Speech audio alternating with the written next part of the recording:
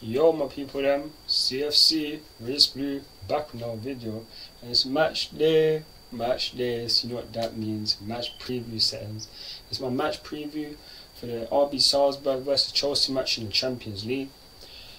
Kickoff is at 5.45pm, you can watch it on BT Sport.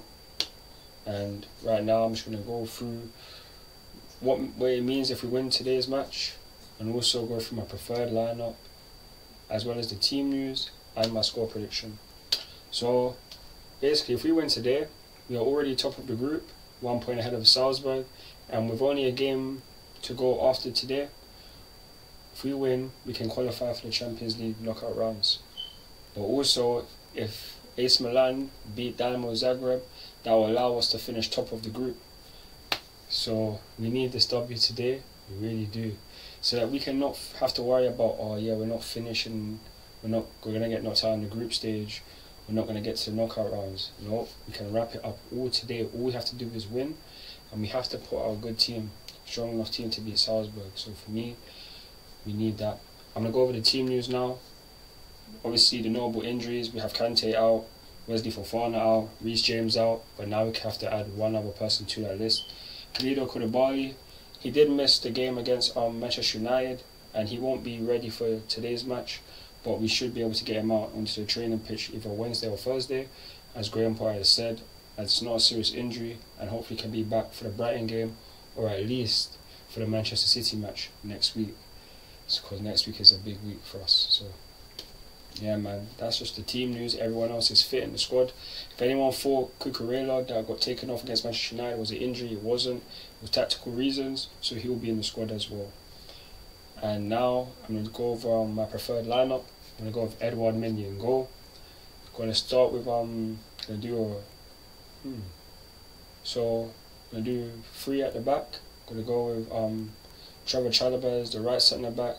Thiago Silva as the central centre back, left side is centre back, Cucurella, left wing back, Ben Chilwell, right wing back, gonna go with um, Ruben Loftus Cheek.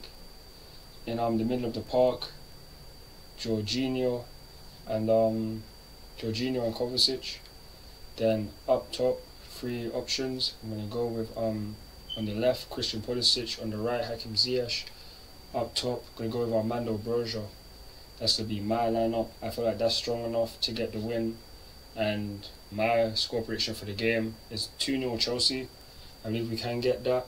And with a different front three, we can also see what our options are because we need to find who's going to be the best um, attacking options for us. We know that normally it's Mount, Sterling, and Aubameyang, but they haven't been really hitting form, all of them. So I think we should give them a rest, bring them on as a sub because next week's games are very important and they will most likely start. So let's give other guys options, or give other guys starts. Actually, take out take out Kovacic. I don't mind playing Chukwuemeka in this game. I don't mind still. Give him some experience in this game still to play along Jorginho. That would be good. I wouldn't mind. So I'd take out Kovacic and put in Chukwuemeka. That would be my um, lineup still. And score prediction 2 0 Chelsea. If we win, we qualify for knockout rounds. If AC Milan beat Zagreb, we qualify as group winners. So as long as we win, it's a win-win. you know like that. But you guys leave your thoughts and leave your thoughts and opinions in the comment section below, as well as your um, score predictions. Like, share, subscribe to my channel. Follow me on Instagram, Twitter, TikTok, Snapchat, and Facebook for more Chelsea content. I am CFC Realist Blue, and I'm out.